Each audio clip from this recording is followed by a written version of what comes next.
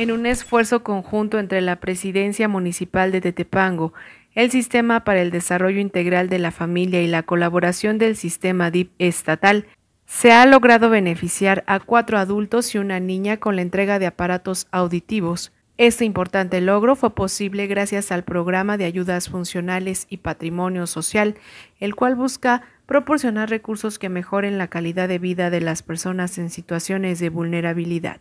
Este valioso apoyo representa una oportunidad significativa para cada uno de los beneficiarios, quienes ahora podrán continuar escuchando y desarrollándose adecuadamente en todas sus actividades diarias. La implementación de estos aparatos auditivos no solo les permitirá mantener una comunicación efectiva, sino también les brindará la posibilidad de participar activamente en la sociedad, promoviendo su inclusión y bienestar.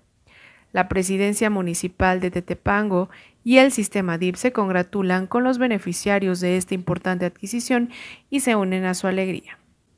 Este logro es un ejemplo más de cómo el trabajo en conjunto entre las autoridades locales y estatales pueden generar impactos positivos en la vida de las personas que más lo necesitan.